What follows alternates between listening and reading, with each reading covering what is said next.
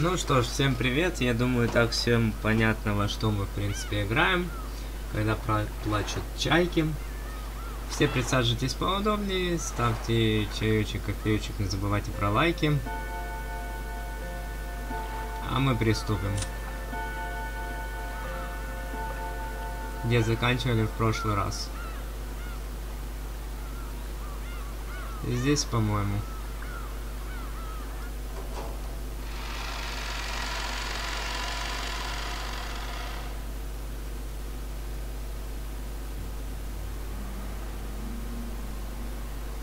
そうですね Так. Сейчас посмотрим. Не забывайте про лайки, не приглашайте друзей.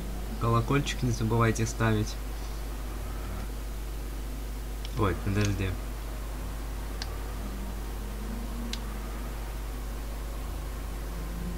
Шанон ちゃんが死んじゃったなんて未だに信じられませんよ。Угу. 本当にかわいそうに Это они про Шанон говорят. もう会えないなんて嘘みたいですよもう一度あの子の笑顔が見たかったのに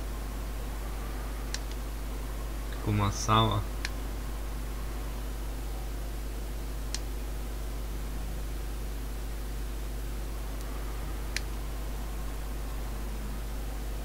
うしてベアトリーチェ様はシャノンを生贄が欲しかったなら他にも大勢いただろうに。どうして？どうして？ただ運が悪かっただけだ。なんだ？少しの運が違えばシャノンの代わりにあそぶあるいは他の誰かだったのかもしれない。全ては運命だ。源氏様奥様の部屋の扉に血のような跡がついていたとおっしゃっていましたね。シャッターに書かれていたのと同じもので。うん。君の悪い跡だった。まるで血のついた指でドアノブを部屋。扉をかき破ろうとしたの、そんな君の悪い跡だっベアトリーチェ様が奥様の部屋を訪れてそして扉を開こうとしたけれど開けなかった。ファクト。ということでしょうか。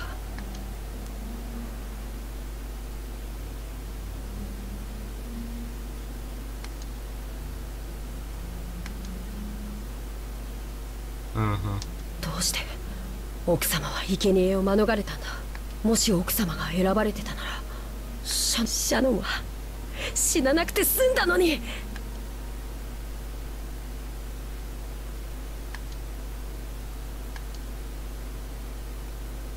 面白そうな話じゃねえか。俺も混ぜてくれよ、バトラ様。これは失礼いたしました。No da. 便って言って抜けさせてもらったのさ。ずっとあの部屋に閉じ込められてると窒息しちまいそうだったからな。水でも飲ませてもらおうかと思ったら面白そうな話が聞こえてきたんでよ。頭なんか下げなくていいぜ。今の話の続きを聞かせてくれよ。今のは別に。ちょいと前から話は聞かせてもらってるんだ。今さら隠すなよ。だから担当ベアトリーチェってのは何者だ？どうやらおとぎ話の魔女ってだけじゃなさそうだな。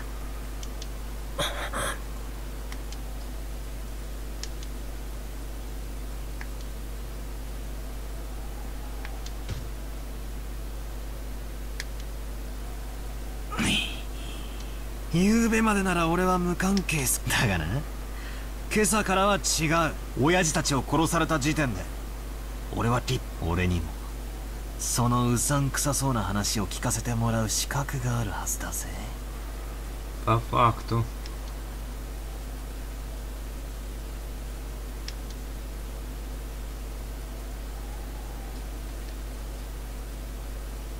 バトラさん手を離してやってくださいな別にカノンさんは隠しているわけではないのですじゃあ話してくれたっていいじゃねえか仲間外れたら寂しいぜ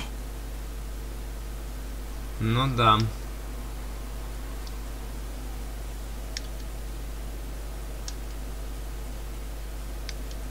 お話しすることはできます М, Давай, Генджи.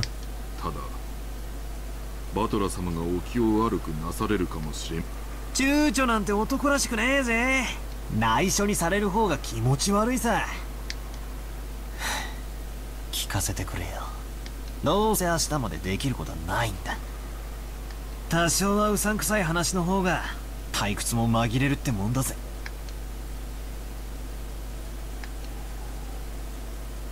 わかりました。何でもお聞きくださいお話しします。ああ。じゃあ聞くぜ。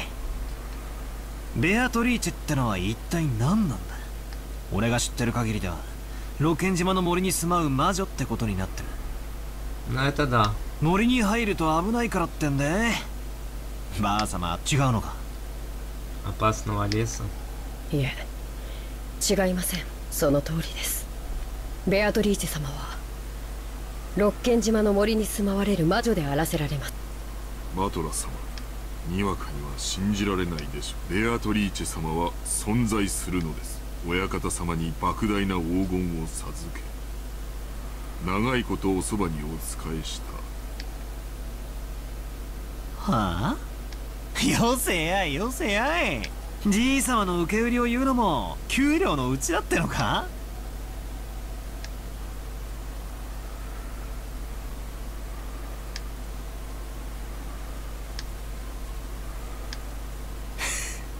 なるほど。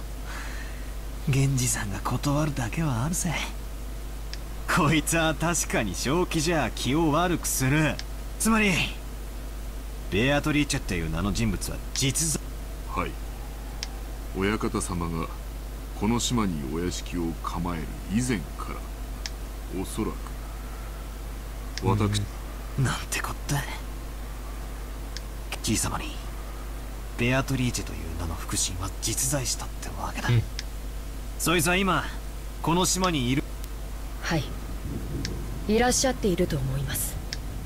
曖昧な言い方だな。ってことは昨日今日そいつの顔を見たってわけじゃなさそうだな。はい。大変申し上げがたいのですが。なんだよそこで切るなよ。鮮度目みたいで気持ち悪いぜ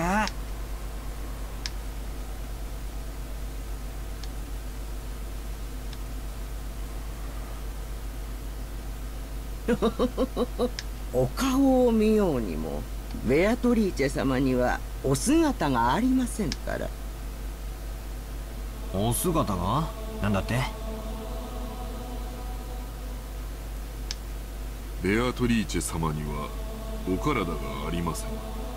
ですからベアトリーチェ様がお望みにならない限り私ども凡庸ではベアトリーチェ様が人の姿をされていた頃の絵があんそのお姿を懐かしみよく肖像画の前に佇まれているそうな。ベアトリーチェ様は時折輝く蝶の姿に身を変えられて現れることがあります。万一お屋敷の中でお見かけした場合には決してその後を追ってはならない決まりです。追えば不幸があるとささやかれています。その金を破り大怪我をして辞めた使用人も実際にいます。おいおいマジかよ。あんたら本気でそんな話をしているのかよ。バトラ様すでにベアトリーチェ様がお越しになっておられます。そのようなお言葉はベアトリーチェ様はご自身を冒涜される方を好みません。その存在を疑えば必ずや不幸が降りかかるでしょう。バトラさん気持ちの悪いお話とお思いでしょ？ですがねベアトリーチェ様はいるんですよ。います。それを疑われることを、ベアわかりませんか？バトラ様。ベアトリーチェ様は今すでに。おいおいよせよ。俺そういうのは弱いんだぜ。脅しっこなしにしろい。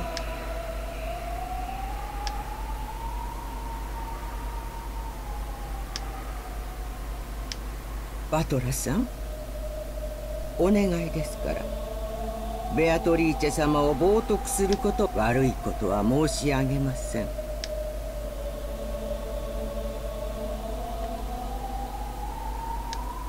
いいるって言われてもよ。俺には何も見えないぜ。今俺の隣にいるとでも言うのかよ。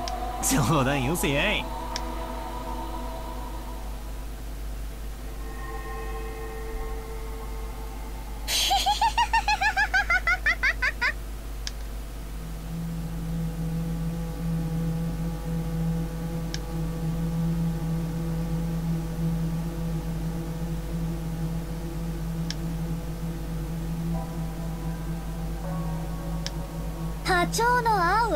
は生まれつきだよ。バトラは生まれつき波長が合わないタイプな。だから見えない。会えない。話せない。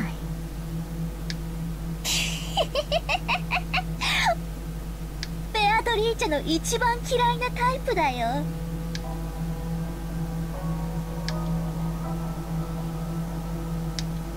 ベアトリーチェのことが知りたい？ベアトリーチェはねあらゆる悪魔を刺激し錬金術を極め賢者の石を生み出し莫大な黄金を生みおじい様は彼女と契約することで後ろ宮家に莫大な富を築い昨日私がベアトリーチェの手紙を読んだでしょ？あれは本当なんだよ。まバトラに信じろと言っても無理な話だろうけど。六感が生まれつきさっぱりみたいだからね。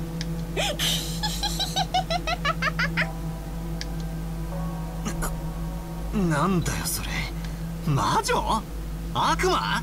そんなの誰に聞いたんだよ？ベアトリーチェ本人に聞いたんだよ。うん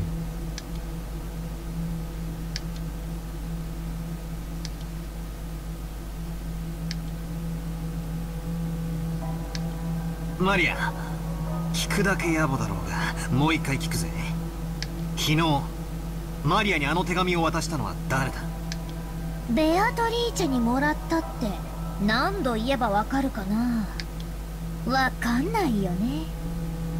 見えないんだもんね。信じられないもんね、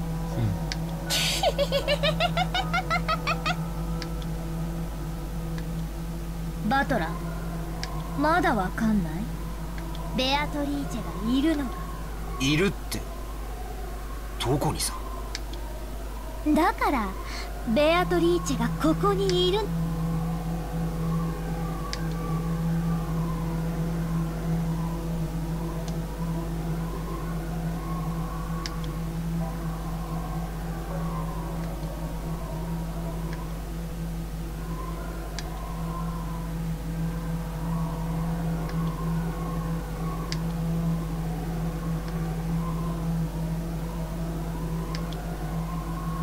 ベアトリーチェは千年を生きた偉大。でも波長の合う人間にしか自分の姿を見せられだからね。それがとても悲しいんだよ。だからバトラみたいな生まれつき魔法のセンスもかけらのない人にバトラは幸運だよ。昨日私にお守りをもらっていてよかったね。それを身につけていなかったら今頃ベアトリーチェのどんな呪いが身に本当に幸運なんだよバトラは。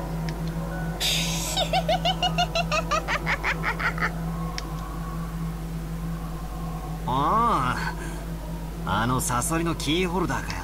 あれって安っぽい景品か何かだと思ってたんだが。それがなかったら今頃バトラがあの倉庫の中で顔面を砕かれて生贄にされていた、幸運だったよバトラは。そうか。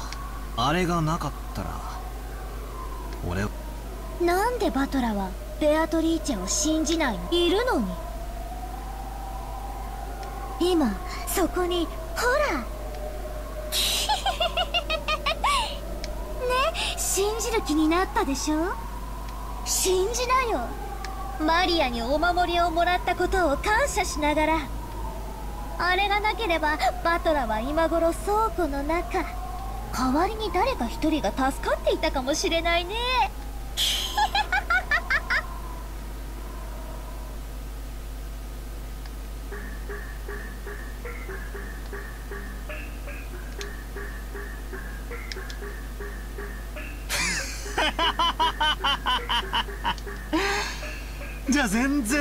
だぜマリア。ってことなら悪いが。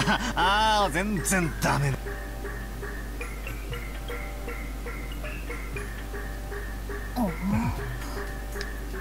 お前が傷つくだろうと思ったから俺黙ってた。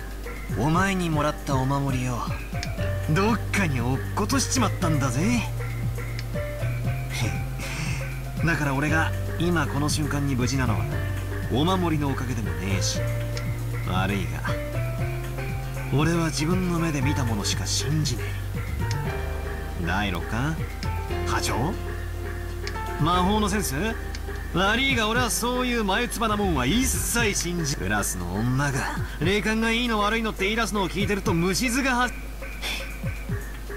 あんたらがいくらじい様に給料もそう簡単にはいかねえってことをよく肝に銘じておきやがる。バトラ様。カノン君たちが信じるのはだが俺が信じ常に俺が自分で決める。悪いがこの目で見るまでベアトリーチェなんてうさんくさいものの存在を信じ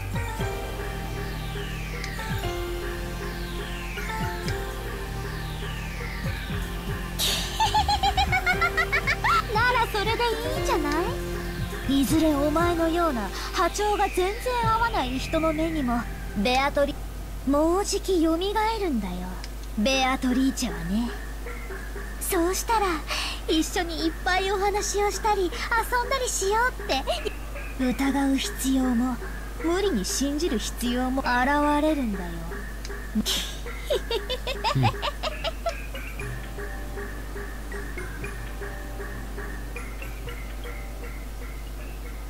Да.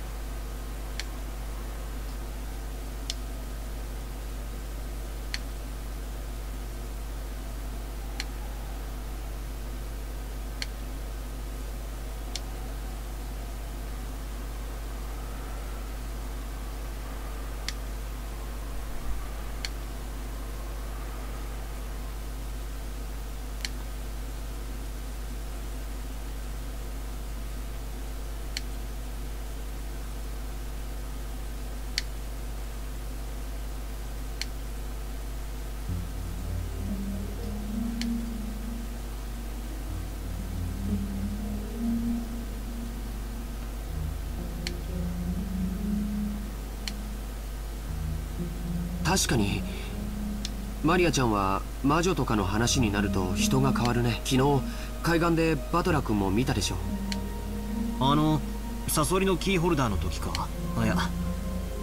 あんなキまるでその二重人格みたいな感じで。ああ。たまにそういうさっきマリアが魔法陣の話を始めた時みたいなやつ。たまーに気持ち悪いけどな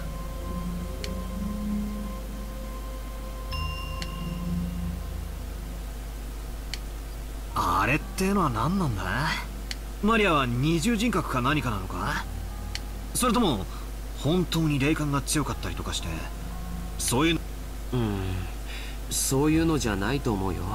バトラ君にも経験ない小さい頃自分以外の誰かになりたかった。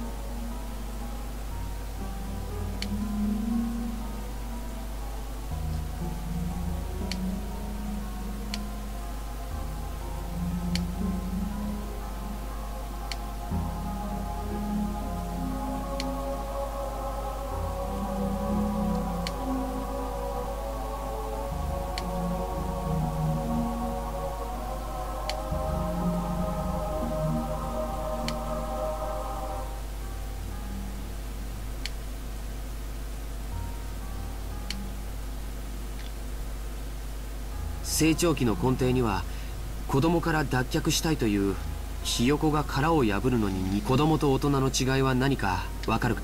年齢それとも体格？違うよ。経験だよ。大人が子供を見下すのは人生経験が少ないからだよ。子供が何を言っても鼻で笑ってしまうのは世間知らずのくせにと見下して。ああそういうの分かる子供の頃って妙に人生ってもう悟りきったよ。大人は子供が何を言っても世の中甘くないとか。社会にまあ実際そうなんだけど子供で。なるほどな。知識や経験の有無か。確かに年齢だけ無駄に食ってても尊敬はされねえよな。となるとつまり子供から脱却したいという衝動を持つ時期に子供からの脱却がつまりなるほど。他人の持ち得ない知識を持つことが。小学校の頃なんかさクラスの誰も知らない持っていたり身につけていたりするとヒーローになれたよな。バトラもそういう経験あるだろ？あるある。何か一芸に秀でたいと思うお年頃。なるほど。なそれが子供からの脱健全な意味での成長期はそうして没個性を脱却するために人が持たない知識やスキル。これは社会学的にも面白いことだよ。人が没個性を嫌うために人と違う技術を身につけようとする。これにより社会は幅広い技術を獲得して神々の高度なプログラミングに驚かされるね。まあ個性がネガティブにクラスみんなが真剣に勉強してるから俺だけ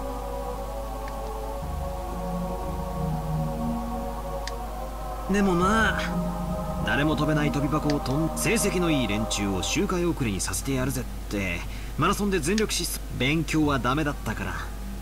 少なくとも運動ではうんなるほど。ちゃんと成長期してるな。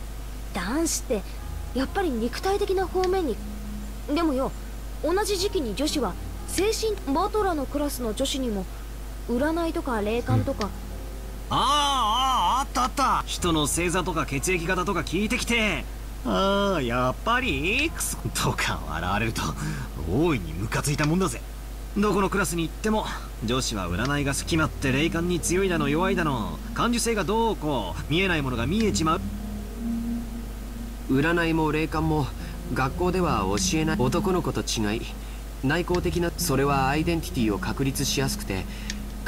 男子が成長期に入ると急に悪ぶったりして女子も成長期に入るとそういうのに私はそうでもなかったけどさうんつまり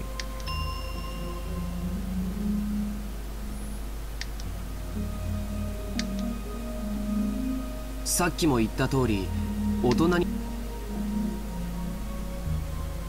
Чего?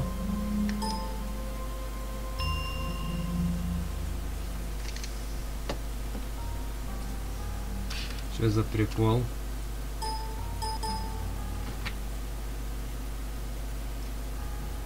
Эм... Что за...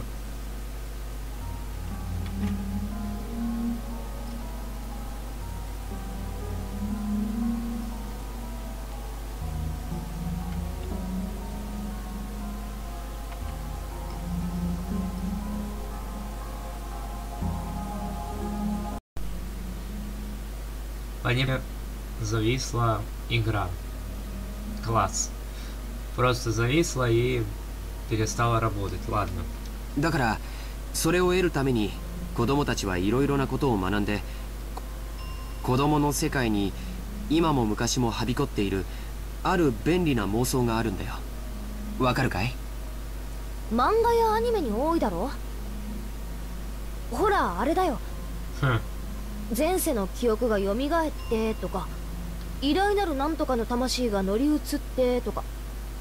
ああ他にも遺伝子が覚醒したりとか封印されていた能力やら記憶やらが戻ったりとかいろいろある。どういうわけかあの時期はそういうのがやたらと流行るもんさ。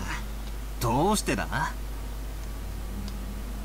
今挙げたキーワードは全て子供の自分に知識や経験を直ちに付加できる幻想9歳の女の子も1000年を生きた魔女が私に1009歳のアイデンティティが得られるわけだからね。まあつまり勉強するのは面倒くさい。でも人とは違うスキルを持って周りに威張りたい。チヤホあとは子供からの脱却願望にはかその願望の姿が別人格バトラ君だって家と学校では多少キャラクターが違うということがある多分家での自分の姿をクラスの学校の自分は自分のなりたい姿の投影で家つまりキャラクターの使いは人格の多重化はごくごく当たり前だと言いたい、オカルトが好きな女子はそれを憑依と言ったり覚醒と言ったりするぜ。正直ドン引きするくらいにキャラを変える子もいるよ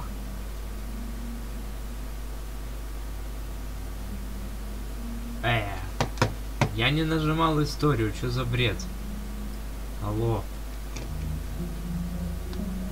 男子にもいるだろ切れたとか言ってやたらめったら粗暴キャラに変身あれ本人はかっこいいと思ってるんだろうけど見てて痛いよなつまりおさらいするとだ マリアくらいの年頃の女の子がさっきそれほど珍しいものじゃないと言いた簡単にまとめるとそういうことだ。アイデンティティは自己を形成するための大切なもの。それをバカにしたりするとかえってその殻にだからほどほどに付き合ってそれを丸ごと受け入れてあげるのが親の包容力と。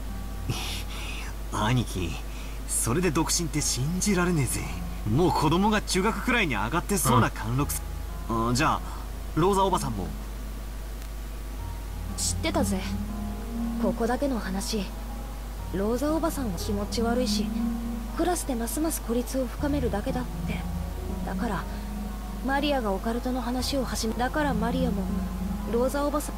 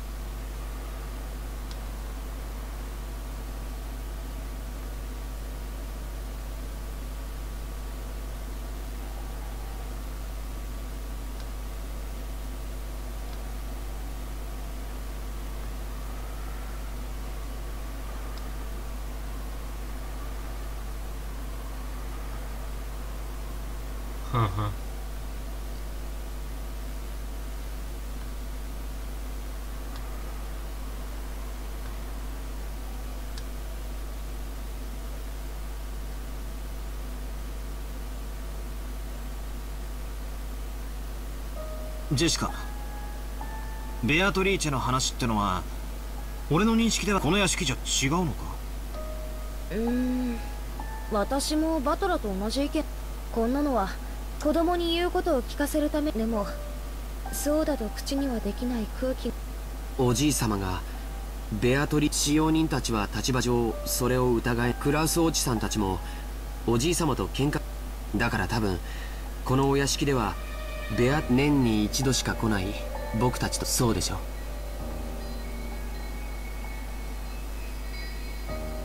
ジョージ兄さんの言うとみんな腹の中じゃ信じてるわけじゃない。でも表向きはその存在。ほら神様の存在を認めるようなそ実際にはいないことを知っててもそれを使用人たちの間ではやっぱり雇い主のじい様がいさあ詳しくはわからない。使用人たちの間ではえほら昨日海岸夜見回りをしている時不気味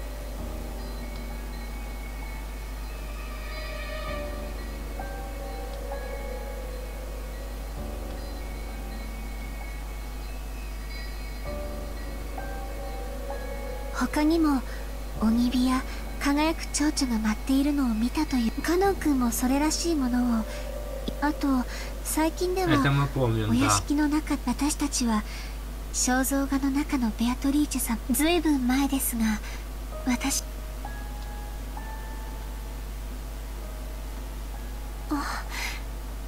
でベアトリーチェ様は親方様とだから変に怯えたりしないで。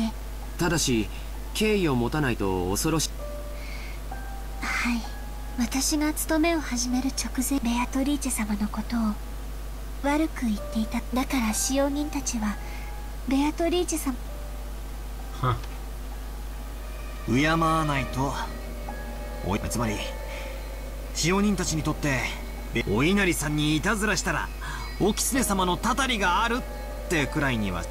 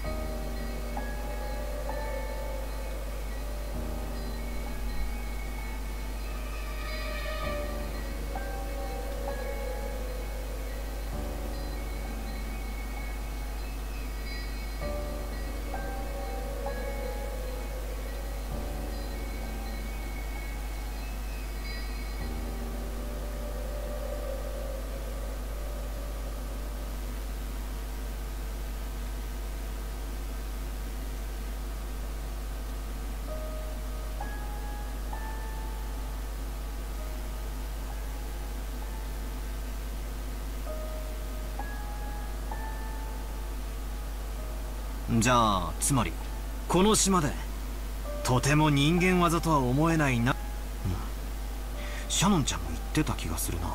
ちゃんと閉めたはずの窓や扉や鍵が消したはずの明かりがついていたりつけたはずの明かりが消えんで確かジェシカは朝出かけようとしたらカバンよく覚えてるな。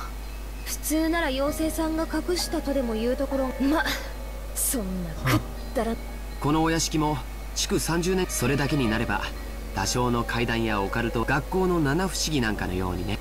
そこでチェス盤をひっくり返す。つまりこの島では人間にはで人間にはできない人間は何人だ？18人だ。つまり犯人はこの島のルールにのっつまりそれは19人目の仕業で全然気に入らね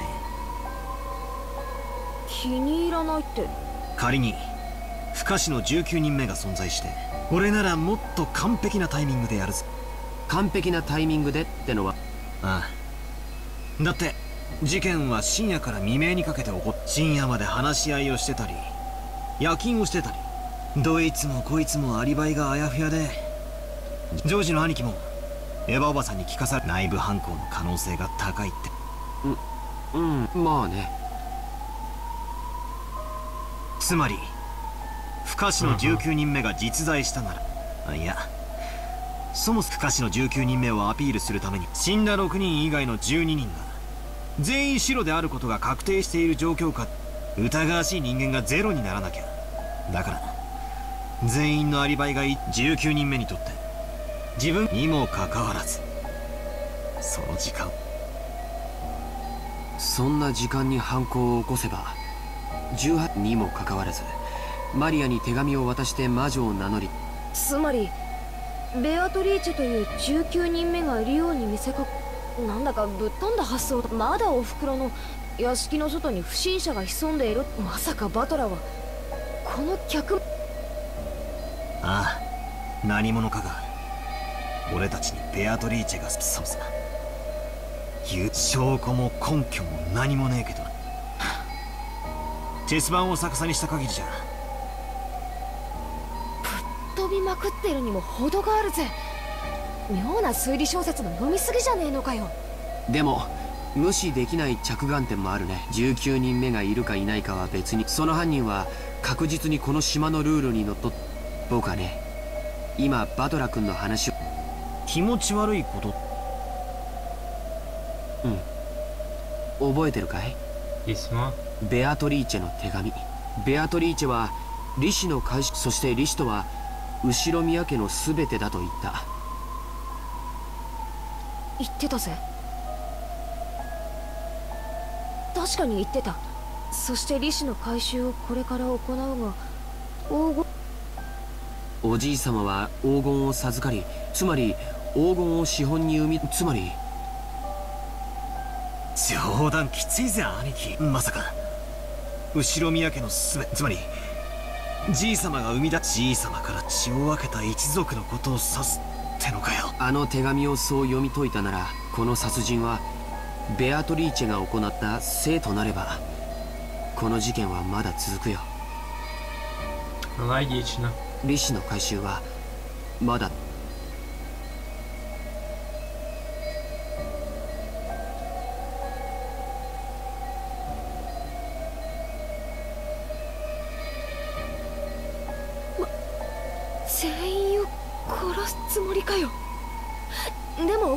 ジョージ兄さん。ならどうして6人だけ他に大勢殺せたはず。下手をすれば寝込みを襲って全員を一晩で殺すことも可能。どうしてそれをしなかったの？特別条項だよ。黄金の謎を暴く者が現れたら李氏の権利は失われる。そして手紙の最後におじい様の黄金の謎をみんなで解いてみろとね。ジーザス。ようやく犯人のメッセージが分かってきたじゃねえか。つまり犯人は俺たちに。事実。しかもぼやぼやしてれば。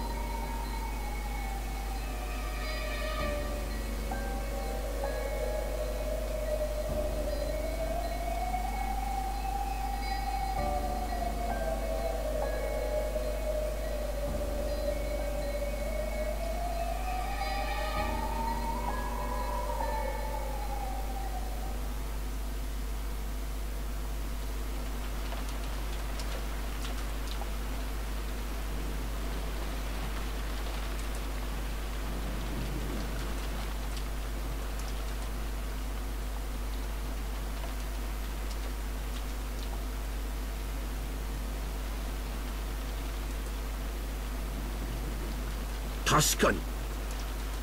そう考えるとあの怪しい手その動機はなかなかええ。マリアちゃんに手紙を渡したのが誰かは。おおベアトリーチェはいる。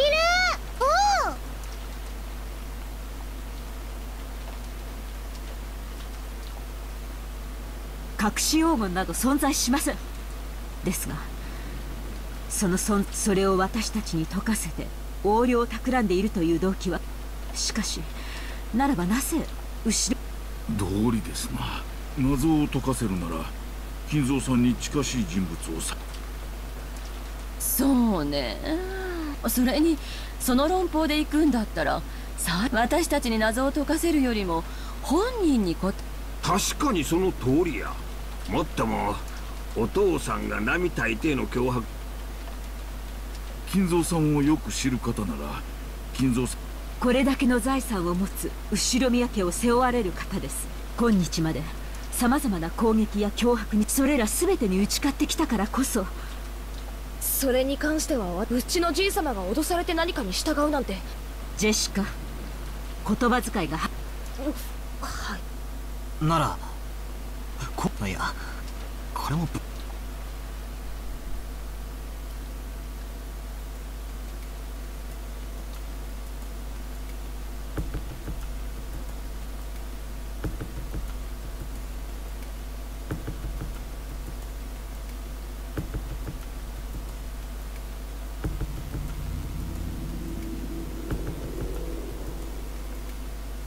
犯人が隠された黄金が狙いってんなら謎を作った本人に答えを聞く方が手じゃあさ全てじい様に当てたメッセージってことじゃないのか？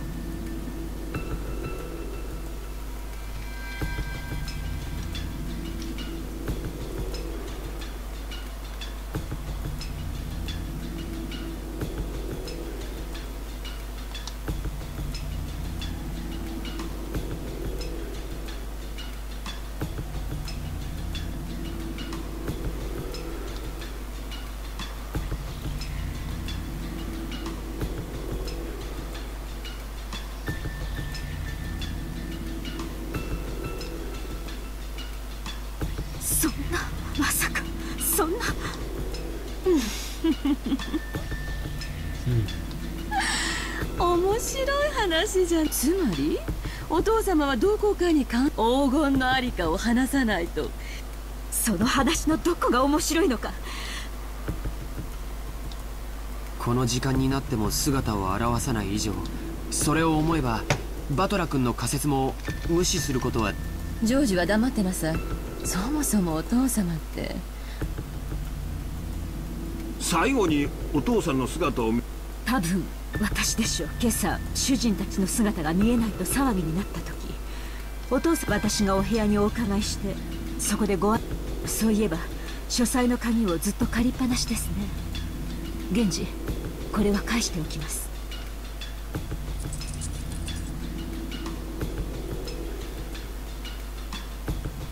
ねえ源氏さん。どうせ警察はお父様の部屋もて何を隠していてもどうせあだったらちょっと早く今この場で話してくれてもいい？何のお話でしょうか？シンプルな話。お父様の書斎はその鍵がなければその定義の確認をしお父様の部屋には入り口が一つある。あとは窓？他に出入り口は？ありません中に入るには入り間違いなくね。秘密の隠し扉なんかがあったりはしない。お父様が不在である以上後宮家の最高女その後宮家の当主代行として聞いているの。それを理解した上で答えなさい。あの部屋には入り口以外に他に出入り口はお父様の最高の側近だったあなたは知っているはずよ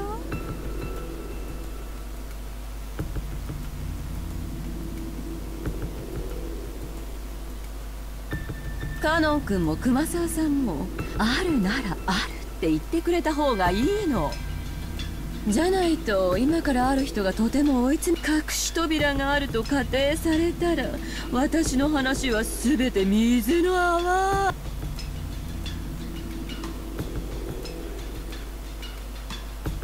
母さん何の話？ジョージは少し黙ってなさい。どうなの？源氏さんカノン君？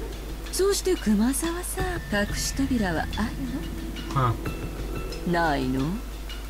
源氏さんはお父様が書斎を改造した時せこ知らないとは言わせないわよ。そのようなものは。間違いなく片翼の場所を許されたカノン君。はい。間違いなく親方様の書斎に隠し扉などありません熊沢さんは？いいえお父様と親交の深い南條先生は？わ私もそんなものは。き結構。じゃあいい？話を始めるわよ。とってもシンプルな話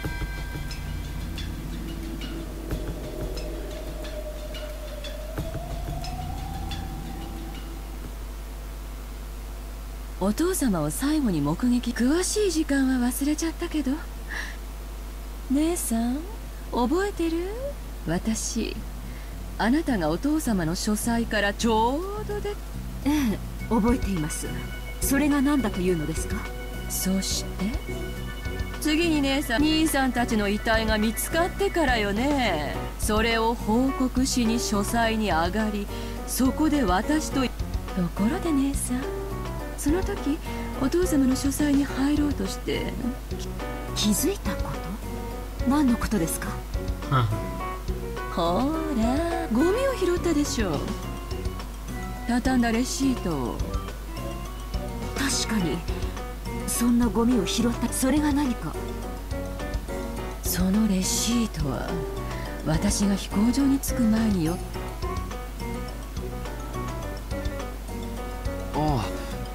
ああの時に買った。でも母さんそのレシートの話がなジョージもうちょい黙って聞いとってや。本当にこれは気まぐれ？よ何かを予見してたとかましてや夏日姉さんを罠にかけようとか。実はねそのレシー姉さんがお父様と最後に会って出てきてそこで私その時書斎の扉に私がはってことはつまり夏日おばさんがそのレちょっと待ってよエヴァン。レシート挟むなんてバレバレだって。小様が外出した時に気づいて面白がっ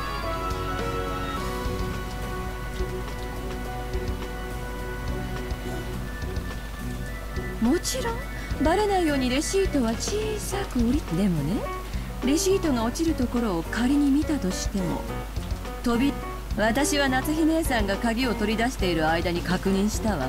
レシートが挟み込まれた位置は寸分の1ミリのなぜそんな子供じみたいたずらをさ大方私の部屋の扉にいたずらをしたのも。夏日さんの部屋の不愉快な話だったので話しませんでしたが今朝目が覚めたら扉の外側にあのシャッターの落書きと同じと思われる赤い塗料でいたかきむしったような気持ちの悪い跡でなんやその話。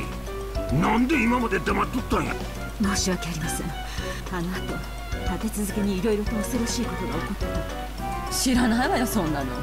私がしてるのは姉さんの部屋じゃなくてお父様の部屋の扉の話よ。姉さんがお父様がいるのを確認してから私と一緒にふざ扉を使わずことは知りません。私が知りたいくらいです。夏日姉さんの他にお父さんの在室を確認したのは誰や？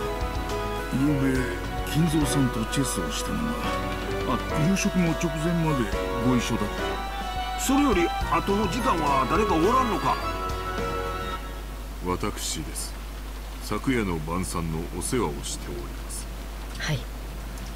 僕とシャノンも一緒でしたここまでは間違いなくお父さんも部屋にだがな夏日姉さん不在だった書斎は窓も扉も全て閉め切られた状態だったそうやないか。なのに夏日さんは今朝お父さんに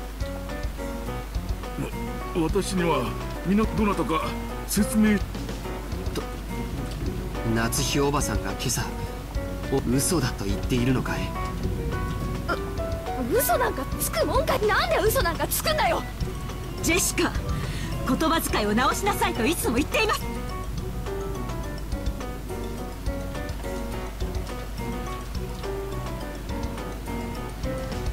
複数の人間の目撃がでも今朝以降お父様の姿を見たと称そして私の挟んださあこの点と点はどうやれば結べるのか。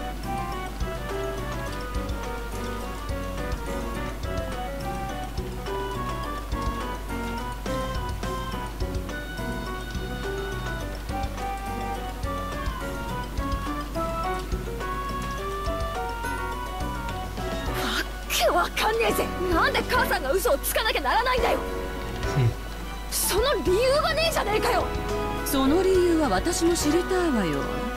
でもねジェシカちゃん。お父様の材質を偽る価値が全くないとは限らないのよ。推理小説でもたまに出てくるでしょ。生存時刻を偽ることによって。ななんだそりゃ。そんなの聞いたことないぜ。お父様はまだ見つからないけれど普通に考えればもうとなれば必ずその時死亡時刻をうまく偽ることができれば夏日姉さんはわかる。みんな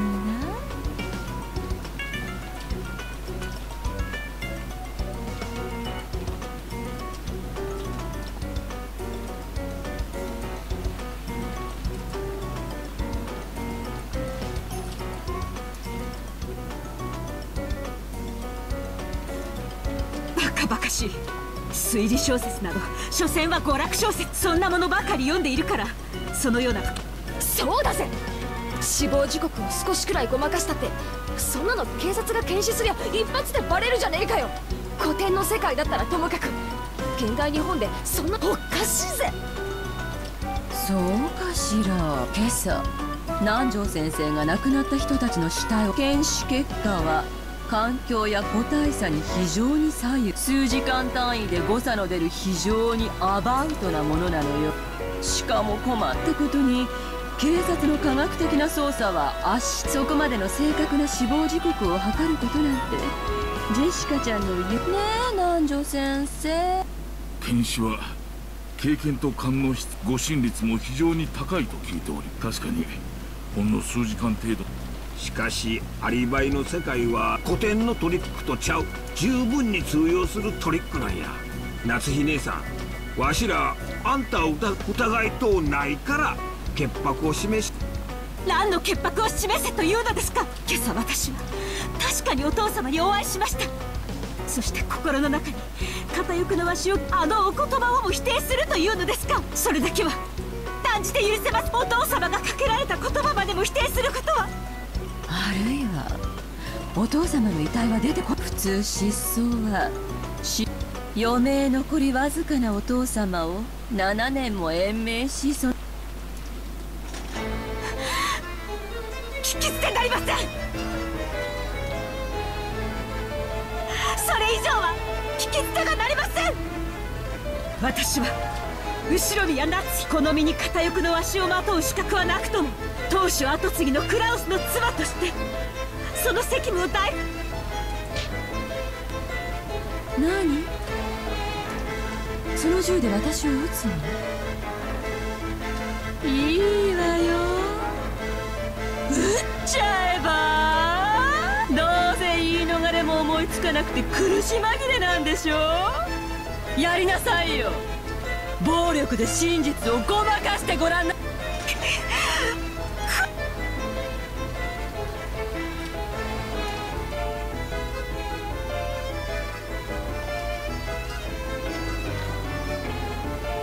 奥様どうか母さんは嘘なんかついてない。ならこんなの聞き捨てなきゃ。落ち着いてえな夏日姉さん。確かにお父さんは部屋にいたと誓ってくれればいいんやでそれだけなのに。なんでそんなに取り。そそれもそうです。夏日さんは嘘をついている。それだけのことじゃありませんか。だから説明してほしいのよ。お父様がどうやって部屋からいなくなったのか。窓は内側からしっかり閉じられていた。扉も同じよ。今朝夏日姉さんが間違いなく音夏日姉さんには開かぬ扉の密室からいかにしてお父様が部屋からじゃないと。姉さんが嘘つきってことに。あなたという人。反論したいならぜひしなさいな。そうね。今すぐこの場で釈明をしてみなさい。そうしたらあなたを疑ったことを謝ってあげてもいいわ。あの書斎の密室からお父様はいかにして抜け出したのか。そんなこと説明もできませんし不要そう。なら私が説明してあげるわよ。私の立場も姉さんの立場も。いいとこ取りのとても仲良しなせ姉さんの言う今朝の時点でお父様が在室でも次にとここまで。は依存ないわよねあなたの言うことにこれ以上耳を傾ける気はありません。その軽薄な口を慎めな。私の推理はこうよ扉から姉さんしか出入りしていないことは私が2回確そしてレシートもそれを立証にもかかわらずお父様を部屋から出すパズルの答えは窓よ。窓から出したのよ。夏日姉さんはお父様を3階の書斎の窓から中庭に突き落としたら奥様。こらえてください。エヴァ様どうかおやめください。その後中庭に転落して死ん夏日姉さんが屋敷内の戸締まりを確認すると言って出て行った時に多分その時に死亡時刻を偽る工作もしたんでしょうね。クラウス兄さんたちの事件もさらに昨べのビアトリーチェの事件もひっくるめてナスシさんが怪しい可能性が非常に高いっちゅうことだ。本当ならこんなことを言いたくはだがもうぶちまけてしまったからに頼むわ。夏希ねどうか自分の無実を説明してくれんか。侍とわしはあんたを疑わなきゃならんのや。なぜこの私がこの私が。後ろ宮夏希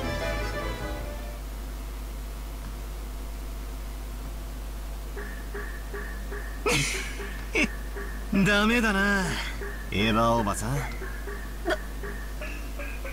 ダメって。全然ダメって何が？バトラ君聞かせてよ。一方からしか見られないから。夏日おばさんしかあり別に夏日おばさんを擁護するわけじゃないレシートを軸にした推理はまずまずだと筋は悪くない。だが俺の最これが答案なら居残りで報酬ってとこだぜ。あらじゃあレシートで封印されている扉をどうやエヴァおばさんの説は確かに。そしてその説以外に最終目撃者である夏日おばさんが黒であると確かに。だが夏日おばさんが無実で濡れ衣である可能性が残っている以上。うん。ならバトラ君は姉さんしかありえないのよ。私のレシートがそれを証明してし一度目に書斎に訪れたな。そして二度目に私と訪れるまでの間書斎は完全に密室で密室。これで夏日姉さんが犯人じゃないというならどうだから65点なんだじゃあここでチェス盤をひっくり返す。どうやって？外部からじいさんどうやって？扉にはレシートが挟まれていたから窓も出ることはできても外側からは施錠できずだから窓も使用されていない。その時点では確かに書斎は密室だった。これは認めるしかない。だがしかし書斎は永遠に密室だった。レシートの封印さえ解かれれば扉は使用可能になり脱出可能になる。つまり夏日おばどうやってじい様は書斎を脱出したのかって考える。じい様の書斎はただ源氏さんの話じゃトイレからキッチンベッドルームまで。例えばエヴァおばさんもそこまで調べてきたわけじゃねそしておばさんたちは失踪。この時レシートはもうない。つまりじい様は密室である間はエヴァおばさんたちをやり過ごした後に部屋から脱出する。何？どうしてお父様がそんな妙なことをして部屋を抜け出さ高等無形にも程がああコートだが。それでも夏日おばさんが濡れ衣かもしれない可能性は示してる。エヴァおばさんのレシートは完璧じゃ。チェスで言えばチェック。だがチェックメイト。そして俺が最それを夏日おばさんに釈明しろと迫った。それがまかり通るってんだな。このここでもう一回チェス盤をひっくり返させてもらおうじゃね。エヴァおばさんあんたと秀吉おじさんが昨日親父たちの夏日おばさんに釈明を強いた。あんたにはもちろん自身の潔白を釈明じい様の遺産が全部転がり込むエヴァおばさんよ。そうだぜ。エヴァおばさんだって母さんがじい様の最終目撃者だから怪しい。エヴァおばさんだって父さんたちの最終目バトラの言う通りだぜ。自分たちはこの僕もお母さんの推理は少し勇みレシートの件は確かにでもそれはバトラ君の言う通り僕たちは等しく夏日おばさんだけが責められる道理はない。誇り高きをそんな誰事で説明。それならエヴァおばさんが先に説明しろ。特任を。誰がどうやって殺して。そして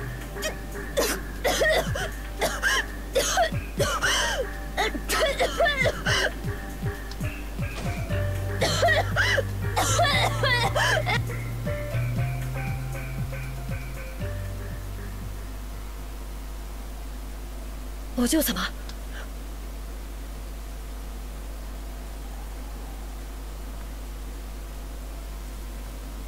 ジェシカしっかり。なんじゃ先生。ジェシカさん吸入器をええ私が持ってきているのがあります。ダブレン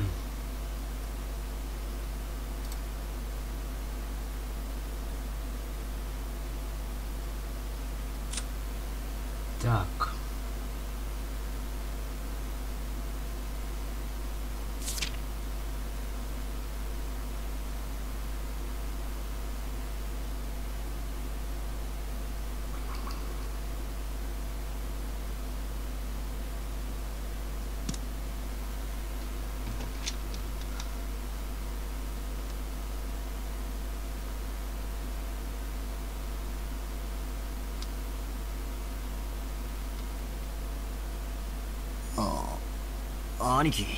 ここ数年でだいぶ大丈夫な時はいいんだけどね。突然発作が来ると咳がと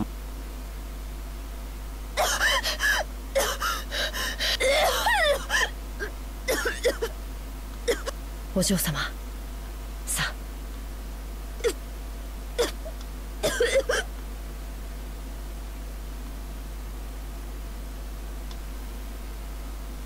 あ大丈夫かよジェシカ。びっくりしたぜした心配すんじゃねえさ。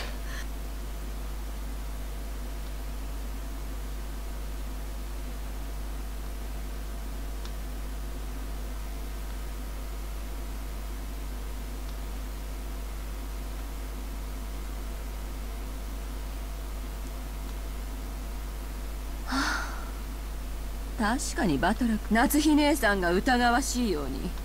それを今議論し合うのは明日警察でもバトラ君だって知り犯人を。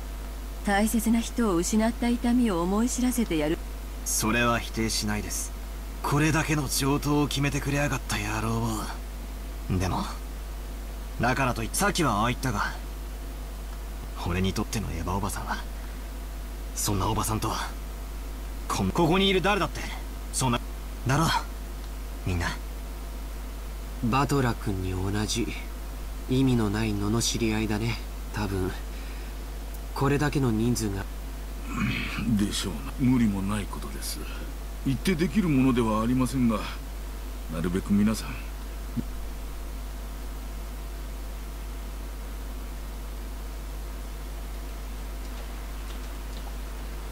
エヴァわしらも頭を冷やすべきとちゃうか。レシートの件は確かに警察が来たら話すといい。そうね。そう。レシートの一件で確かに夏日姉さんだけを疑うのは私たちだって等しく疑う。でもねバトラ君レシートの話だけはほんこれ忘れな。そしてこれがどういう意味をも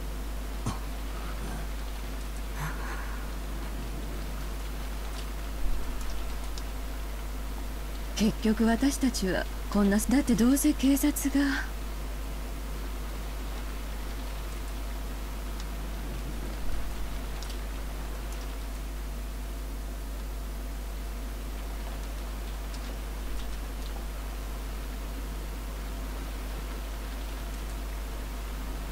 これ以上夏日姉さんも私も同じよ。確か姉さんは昨日ゲストハウスに帰らなくてすあそこはバスもトイレもあるし横になれるベッドもあるし主人もマリアちゃんとチャンネル争いを。お好きになさるといいでしょでも。ありがとう姉さん。そして余計なお世話。姉さんはみんなの監視をよろしく。犯人はこの中に必ずいるんだ。そして姉さんも自分が監視をされ捨て台詞はそれで十分ですか？ええ？十分よじゃあね夏日姉さん。源氏さん夕食になったら呼んでね。それまでチェーンをかけて閉じこもってる。源氏かのお二人を客室までお送りを。結構よ。送り狼なんて嫌だもの。むしろ私たちが部屋に行くまでだジョージ行くわよ。僕は。ジョージこの部屋に犯人がそんなところにいるつもり？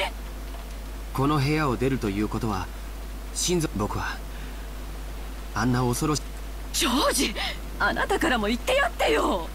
ジョージももう一日そのジョージの仁義がこの部屋好きにさせたれ。父さん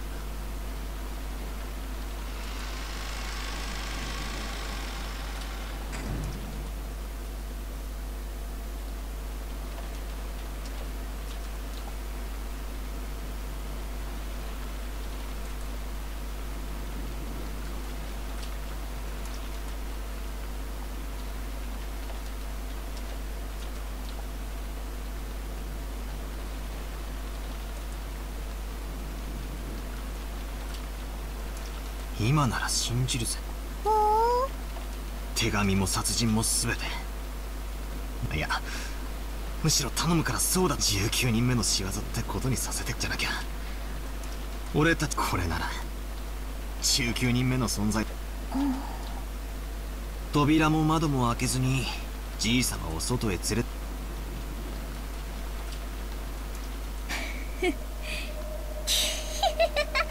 魔女の前に扉の鍵なんて何のベアトリーチェは72柱の33位のガープは望む相手を望む場所へ瞬時に運ぶ力を与えるし彼女にとってどのような密室に閉じこもった人間だろうと連れ魔女はすげえな頼むからもしまた事件を起こす気なら俺に19人目をいや魔女の存在を信じ いいよ。あったら伝えておくよ。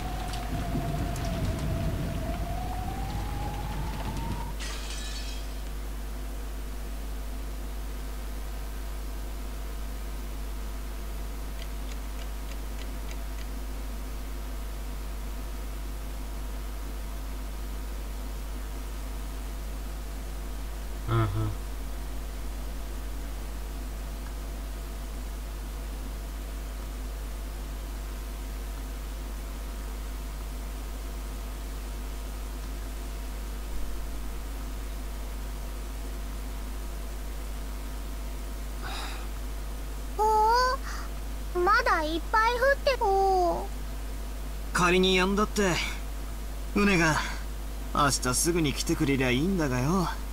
洋館バカンさんもうお腹いっぱいだぜ。母さん本来なら帰りの船は今日先方も台風が過ぎてから出直すと電話をしてくれたでしょ。でも向こうも子供の使い客人の方々の送迎目的だと教えてありますからおそらく明日の朝一番で多分9時頃に来てくれるでしょう。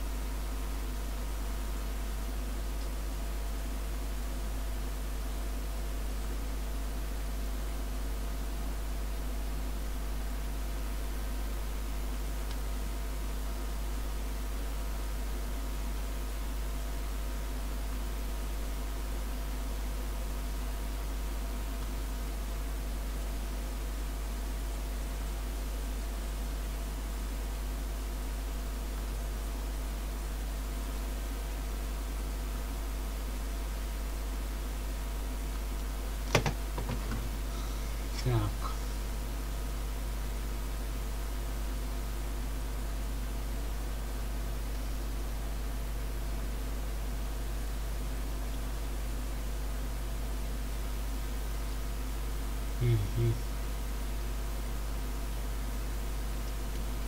アクス綺麗に盛り付けられカノン君もお上手ですよ。シャノン姉さんだったらもっとに。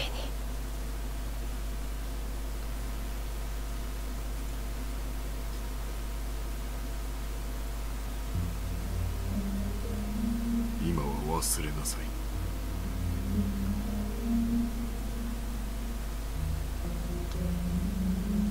はい。今は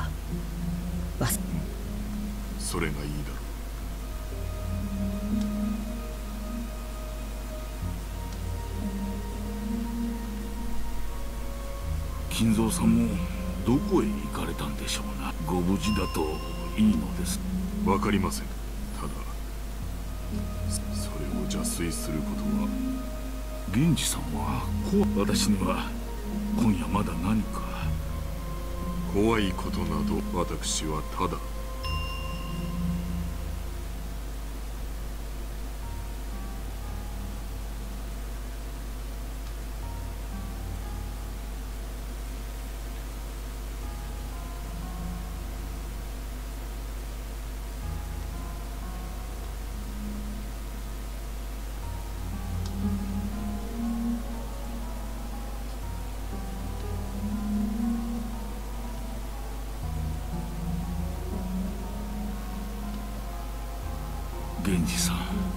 私は今夜が本当に怖い無事に明日の朝を迎えられることを心より願ってい。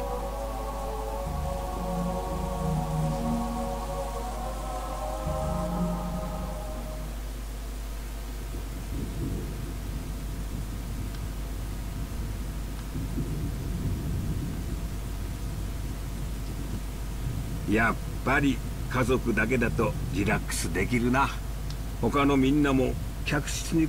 夏日姉さんが客間を出るなって威張り散らしてるんだもん。誰も口答えなんてであの人。ずーっと冷や飯を食ってきたから兄さんが死んでやっと天下まったくずうずうしいまあそう言うな。夏日さんもあれで結構お前もそう突っかからんでも。さっきのレシートの件も。だってあそこで言わなかったら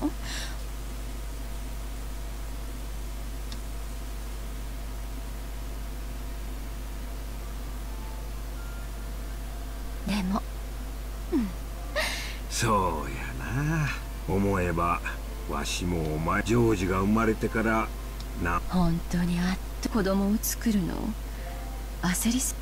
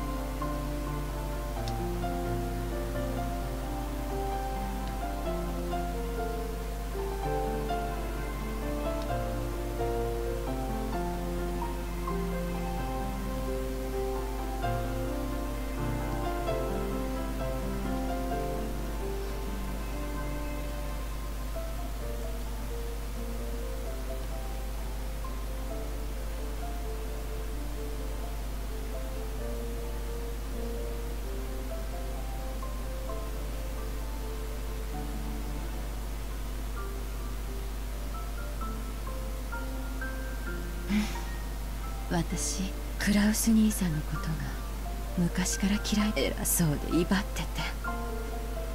自分がやがては当主になるのだとだから。それに一心でもそれは子供のでもその感情は。それだけならまだいい。その感情はあなたやジョージまで。エヴァ備え自分を責める。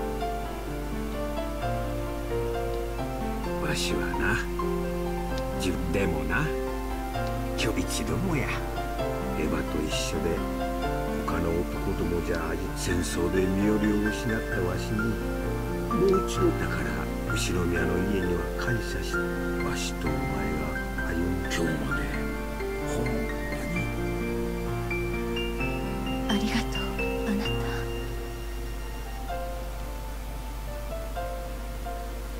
た。感謝するのはわし。今日までお前と一緒にいて私もよ。あなたと一緒になれて。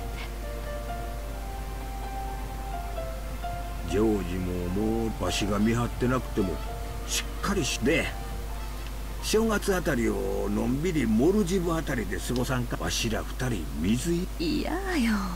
毎年年賀状の返礼で寝る暇。次の正月だけは年賀状はみん黙って下のお年玉くじだけチェックするんや。今年はカラーテレビくらい当てたいでやだ。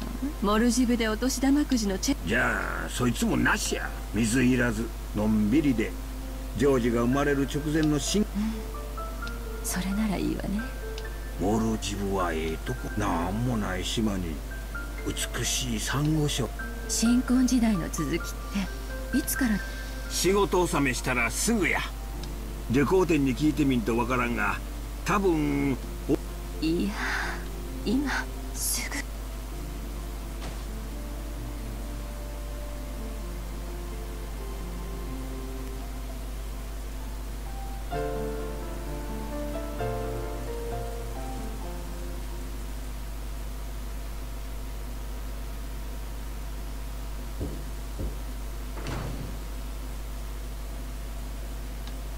奥様お夕食の準備が整いました。お食事はまたこちらでよろしい。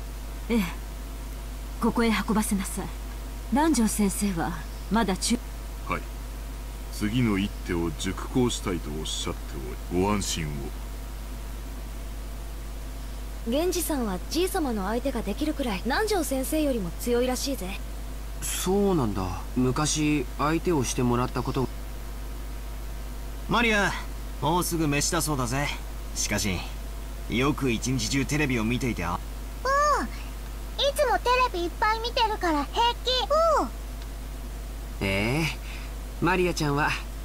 食事だから机の。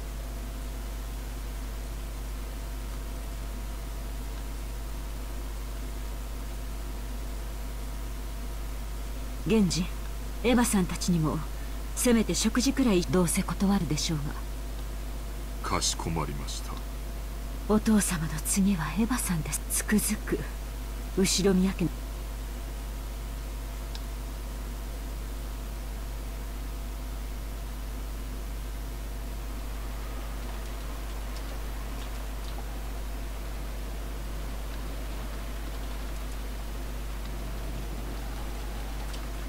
うんう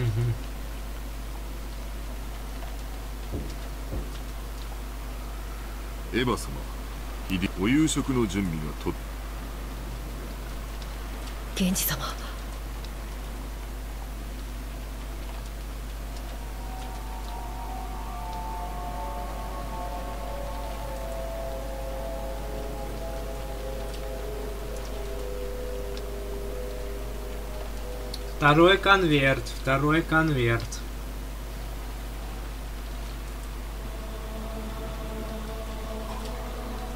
違いない親方様の封筒だあるいは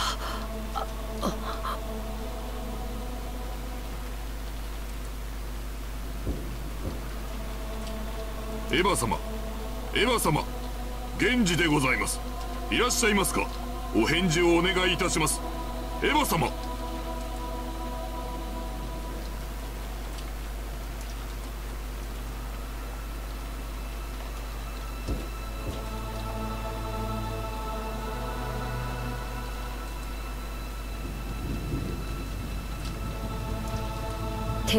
レビの音らしきものがでも気配が感じられません。お部屋は空っぽかも。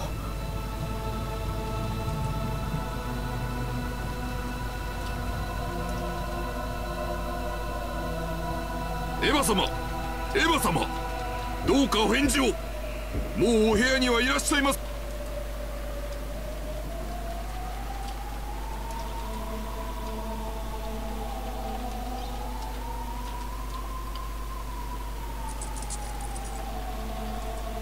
検事様。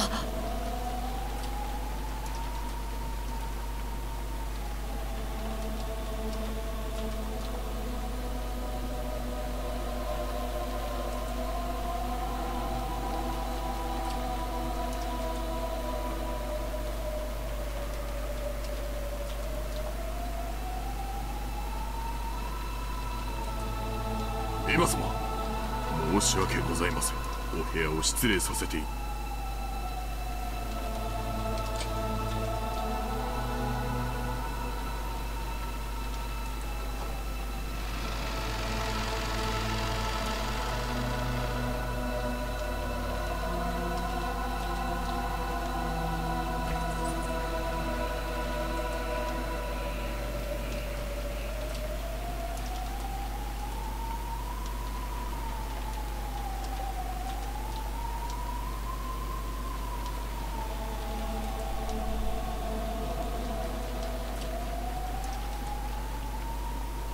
い検事様いかがしますか？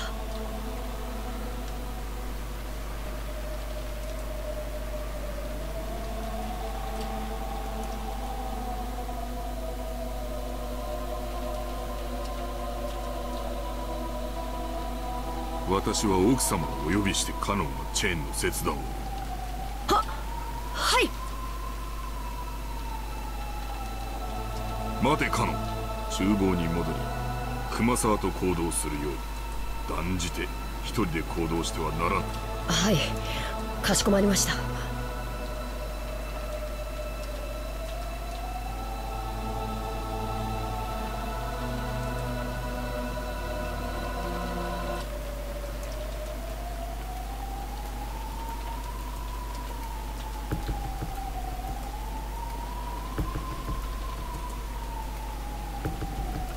おやどうしましたか源氏さん？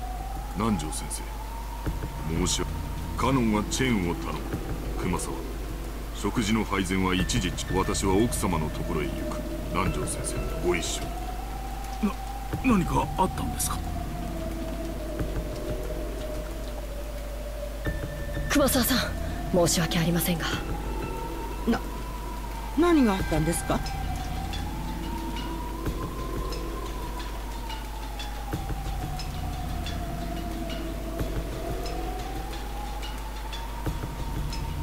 何を探してるんです私も手伝いますよ。ドアチェーンを切断するんです。大きめの番線カッターは。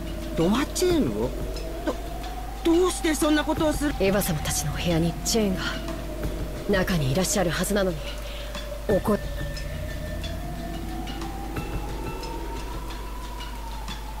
これなら多分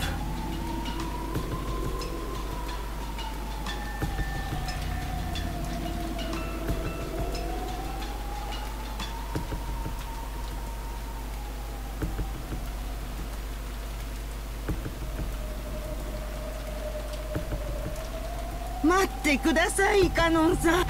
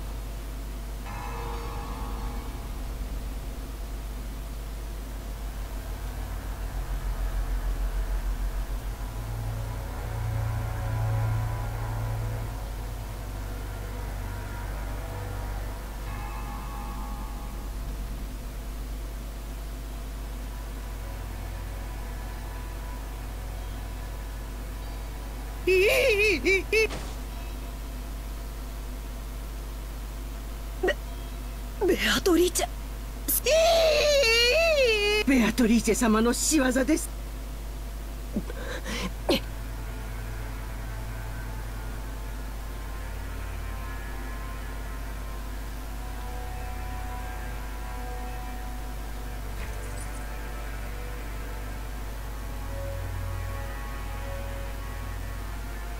カノンさん足元に封筒しかもこれは。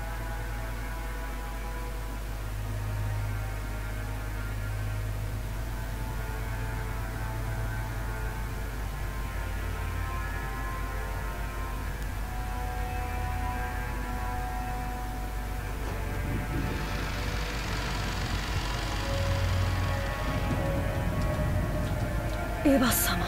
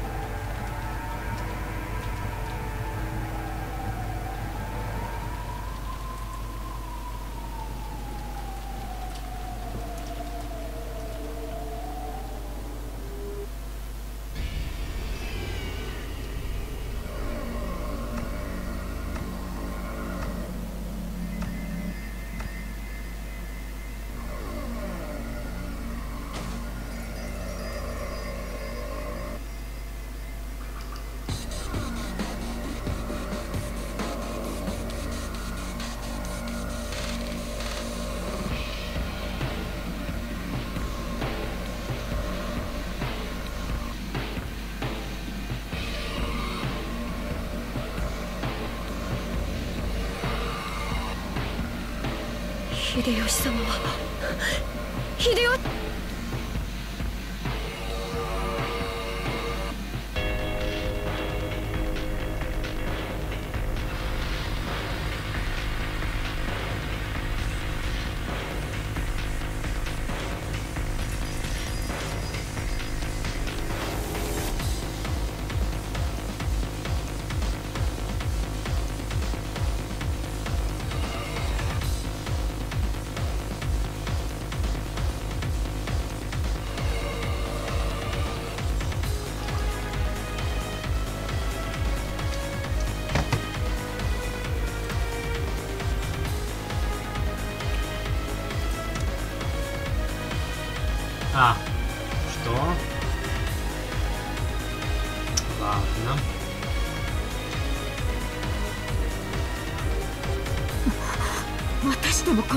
落書きがこの手紙は？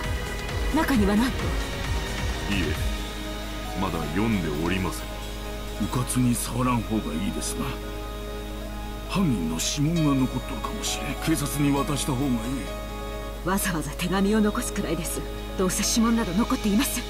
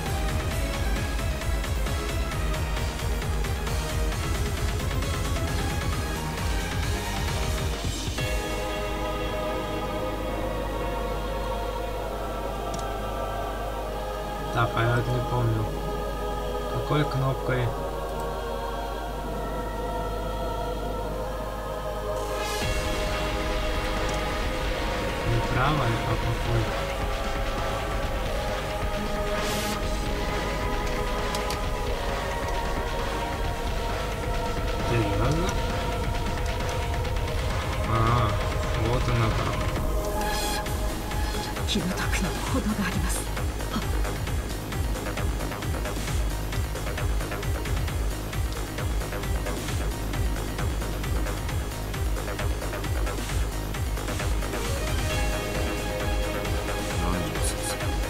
わ分かった。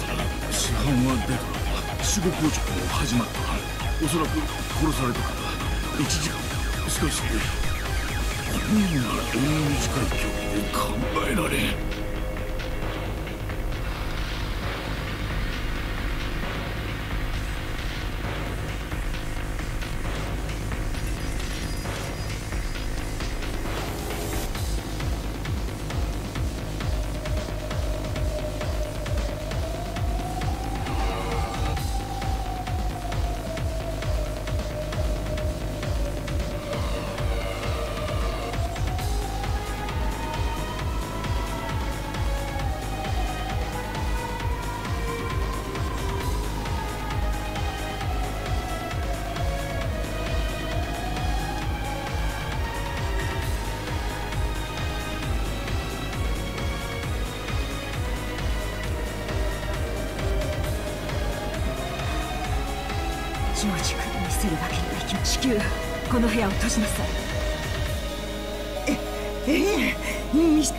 のこんなむごい姿をとてもジョージさんには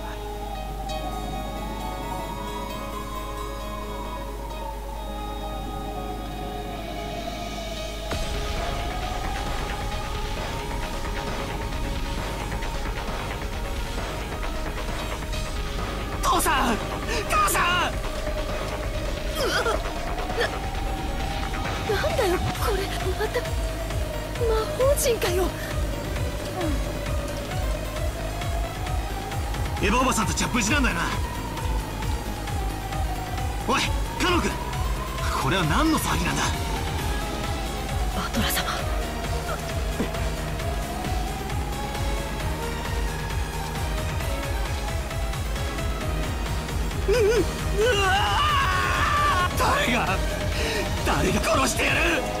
殺してやる！ジョージ君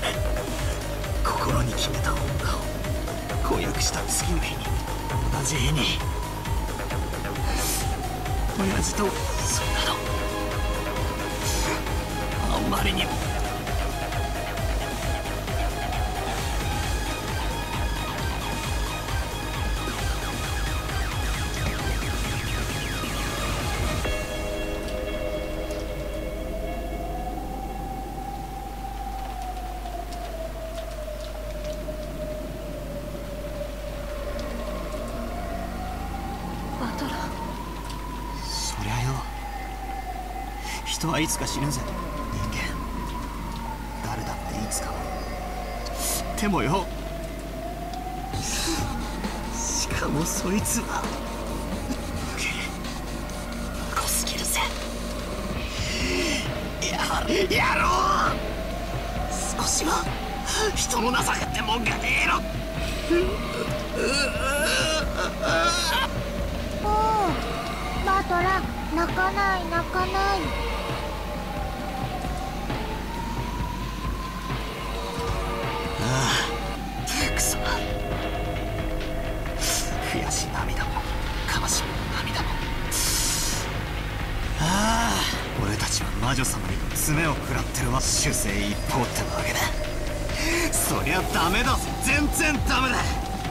盤がひっくり返っちまうぜ。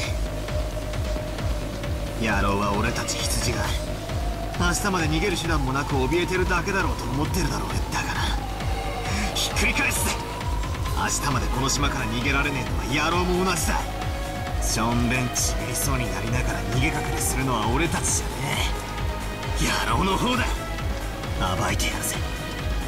必ずな。明日までに。いや明日なんか待たねえ。今夜今夜中にその胸ぐらをつかみ上げてやる。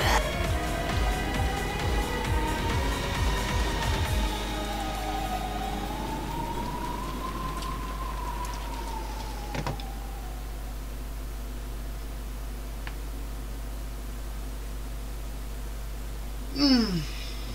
とにかくこの部屋は警察が来るまで。このままにして施錠します Вот и новые трупики. いいですね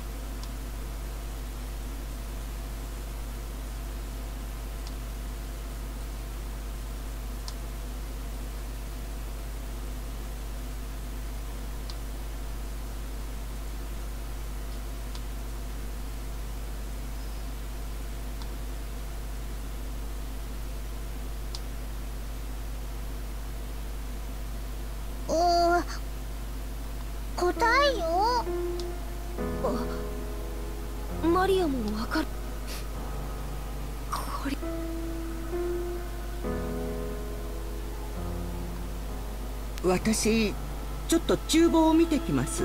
火はちゃんと消したはずなんですよ。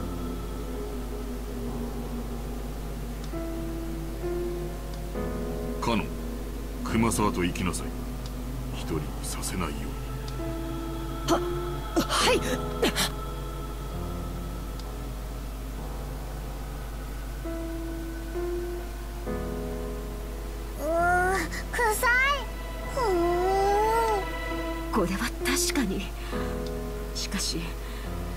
のために窓を開けてもいいものか。換気扇を回させましょう。窓を開ける必要はないと思います。ジョージの兄貴話しかけても大丈夫かよ犯人を探す相談なら構わないよ。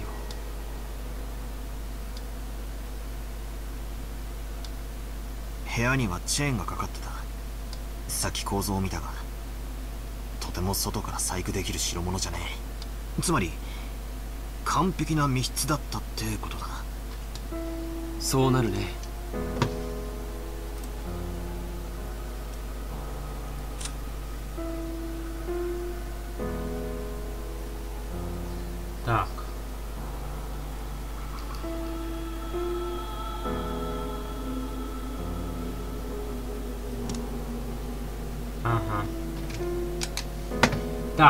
Пожалуй, мы на, это, на этом закончим. Спасибо всем за внимание. Вот у нас новые трупики. Снова письмо, снова убийство, снова ведьма, снова трешачок маленький. А так, всем спасибо за внимание. Мы начнем в следующий раз отсюда. Не забывайте про лайки. А с вами был Казуко Фэмили. Всем до новых встреч. Всем пока-пока.